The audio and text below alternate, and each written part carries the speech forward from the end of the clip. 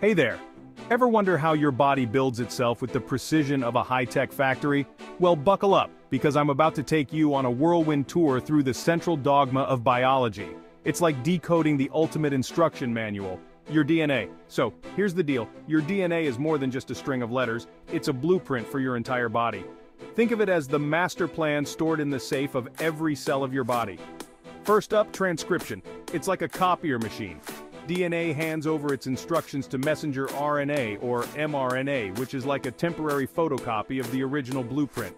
This process happens in the nucleus, where DNA is too important to leave. Gotta keep those original plans safe. Next, we've got translation. No, not languages, but turning that mRNA into something tangible. Once mRNA leaves the nucleus, it heads to a ribosome.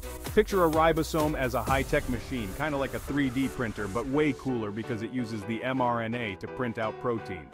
That's right, proteins. The building blocks that do most of the heavy lifting in your body. And voila!